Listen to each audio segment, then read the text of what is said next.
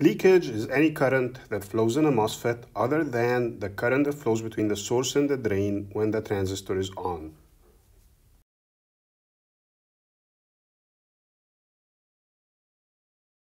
So I want to start discussing leakage in MOSFETs. And leakage just simply means any current that flows in the MOSFET other than the drift current that flows between the drain and the source when the transistor is on. So it actually could be current that is flowing when the transistor is cut off, or it could be current that is flowing when the transistor is on, other than the current we are used to. Normally, we are more concerned about leakage current when the transistor is off, uh, because, first of all, it is a form of power dissipation, it represents a form of power dissipation, but more importantly, leakage current represents a failure of the transistor to shut down. As we will see, this will ultimately be the uh, limit of scaling of MOSFET transistors. So if we look at an NMOS transistor, just a very conceptual view of the NMOS transistor, there are many ways in which current other than the drift current between the drain and the source can flow. But there are three main mechanisms that I'm, uh, that I'm going to discuss in a lot of detail. Two of which are really important, and the third is kind of uh, not really that, uh, that big of a deal. So we're talking about uh, the case where there is no channel in uh, the transistor. So basically, uh, there are reverse biased p-n junctions between the drain and the source, and between the drain and the body, and the source and the body. And uh, so, excuse me, this is the gate, and this is the body, and let's assume for a moment that it is uh, grounded. So the first kind of uh, current we have never taken into consideration is the reverse saturation current that flows uh, in the reverse biased p-n junctions of the source to body and the drain to body.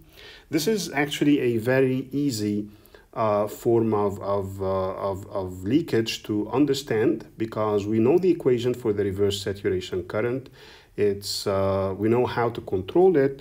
And um, if you look at the expression of reverse saturation current, and let's take uh, drain to body uh, current, for example, it's going to be Q times A times Ni square into uh, dP divided by LP uh, and, uh, and D, which is do the doping, donor doping level, plus Dn over Ln and P, which is the whole uh, the acceptor doping level. So uh, let's just uh, uh, spe specify what we mean by uh, each of these terms. So the area here is the area of the p-n junction. It's going to be the area of the drain. So if you if you think of the drain as kind of a shallow n plus type um, uh, depression in the body, then it would be the area of the bottom of the, uh, of the drain. If the drain has some depth, then we also have to take into consideration the side areas of the drain. But it's the total uh, p-n junction interface area uh, through which this reverse saturation current flows. Um, D and D is the doping level on the n side of the p-n junction, which in this case is the drain, and NP or NA is the uh, acceptor doping on the p-type uh, side of the p-n junction. And in this case, it's actually the substrate. So uh, we should be using N substrate. So uh, if you look at this form of leakage, how can we uh, reduce it? We can reduce it by using high doping in the drain and high doping in the substrate. This helps uh, increase the denominator of the terms within the braces. We can also uh, reduce the area of the drain uh, to reduce uh, this part of the, of the expression but there's a price to pay for some of these decisions. So increasing doping in the drain is, is actually a good thing because it reduces uh, drain resistance, but increasing doping in the substrate has a price because uh, if you increase doping in the substrate, uh, then you, you decrease the mobility of charges within the channel because you have more irregularities in the crystal and thus um, the uh, electrons will um, bump a lot more often into uh, these imperfections and the drift velocity will decrease for the same uh, electric field, which means basically that mobility has decreased. And so using a heavy substrate doping is not something uh, that comes without a price. Also, reducing the area of the drain is not something that comes without a price because drain area is going to affect uh, drain resistance. Uh, drain resistance is not something that we have thought about a lot, but it is something that we should think about now because uh, it is a parasitic resistance that exists that we never had to model. So when we modeled the transistor, we assumed that the source and the drain were actually kind of almost short circuits, but there is a small uh, resistance here, which is the drain resistance, and a small source resistance. So ideally, we would like to keep this resistance very small, which means uh, that not only do we have to keep the area of the bottom of, of, of the drain and the source large, but we also have um, to make them relatively deep. So this depth would also increase the effective area, uh, increase the effective area of the drain and thus reduce its resistance. Overall, though, this reverse saturation current is not a current that we are really concerned about, uh, mainly because it doesn't scale too badly, and also because it flows into the body, and so it, it really doesn't represent any loss of, of transistor action that we should be concerned about. Uh, there are two other leakage currents that I will be discussing in a lot more detail, and these two currents are the currents that should concern us. Uh, the first is uh, gate tunneling current, and this is a current that flows from the gate to the body.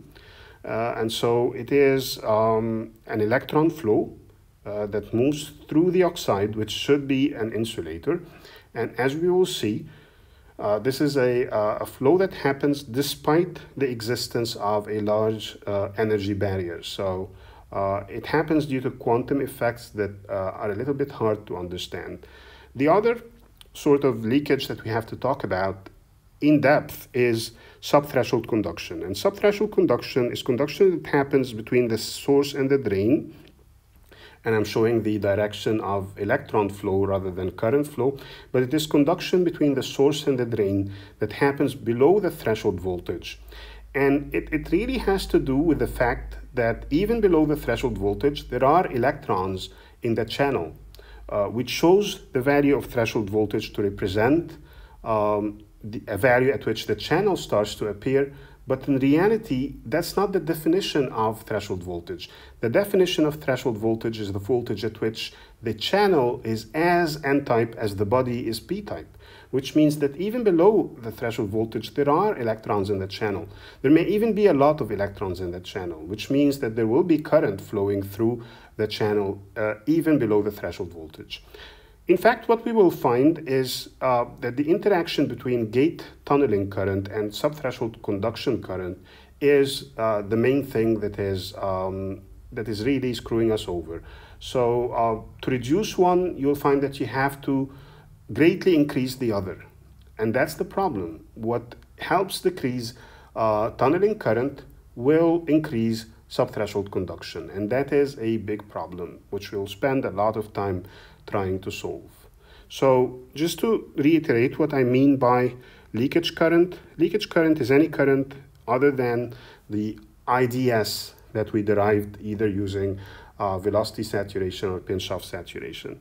So um, we normally talk about leakage current when we have uh, a cutoff transistor. So we are mostly concerned with this situation. We have an NMOS with zero volt at the gate, and let's assume that we have a drain potential of VDD. We should see zero current flowing through this transistor. We don't. We see a large, not a large, we see a current flowing from the drain to the source, and we also see a current flowing from the gate to the source. Uh, this is mainly the subthreshold conduction current, which we will discuss in detail, and this is mainly the gate tunneling current, which we'll also discuss in detail. These leakage currents offer us a couple of problems. First of all, they affect power dissipation by adding a new mechanism of power dissipation, but most importantly, they represent a failure of the transistor to cut off we have to be able to cut off. A transistor has to be has to act as a switch. It has to be able to provide a perfect short circuit when it's on, which it fails to do, which is why we have delay. It also should, should present a perfect open circuit when it is cut off, which we will see it miserably fails to do as well.